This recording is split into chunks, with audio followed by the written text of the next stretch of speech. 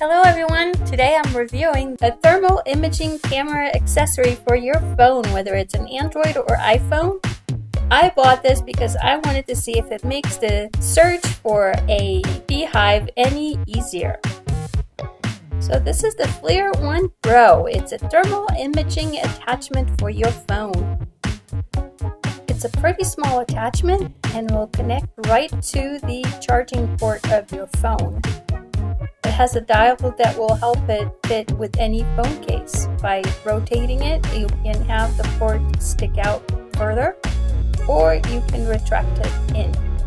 And it's a nice, easy plug-in for your phone. Download the FLIR app and then it's as simple as plugging it in, turning it on. It takes a couple seconds to set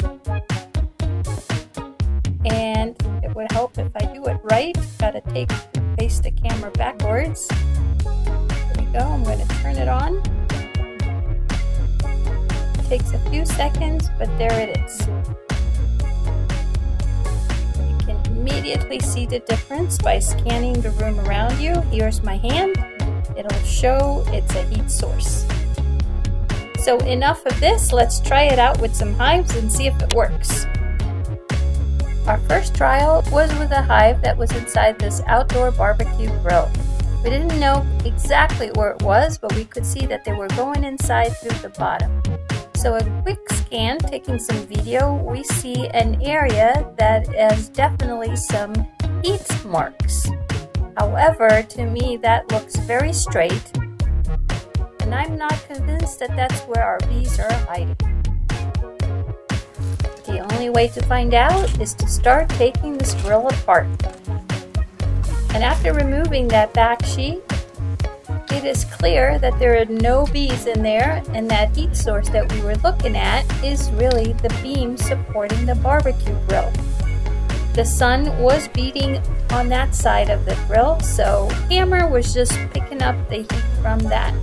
They're going under the flooring of the grill and there's some tile in there. Let's try scanning with a thermal camera again, but this time we're going to scan the floor. And there it is, a nice little triangle right alongside the edges of the floor. Now I have to say, this had a layer of tile and then a sheet of cement sheetrock pretty impressive if the camera picked up the heat source after such a thick layer of material. It's the moment of truth, let's check it out. What's under that flooring? And there they are, a nice beehive hiding in the same exact spot the camera picked up.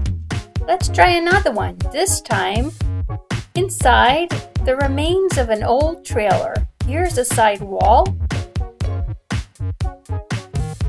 Here's what's left of that trailer, and the bees are going in through the bottom again. And here's the scan of that side of the trailer, and you can definitely see two heat sources on the right and on the left.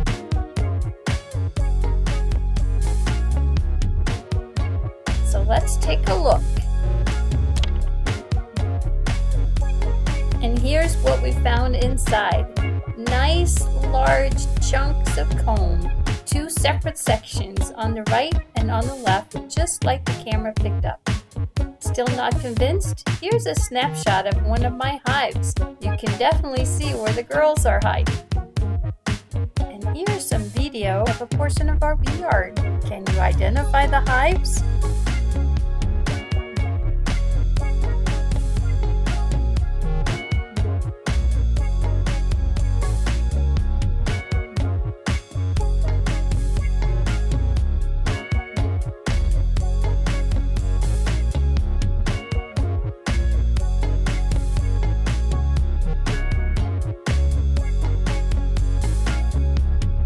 Overall, we're quite happy with this purchase. I think it's a lot of fun and it'll come in handy when we're searching for those hard to find hives. If you want to find out more about the FLIR One cameras, I will add a link down below. Thanks for watching. We'll see you next time.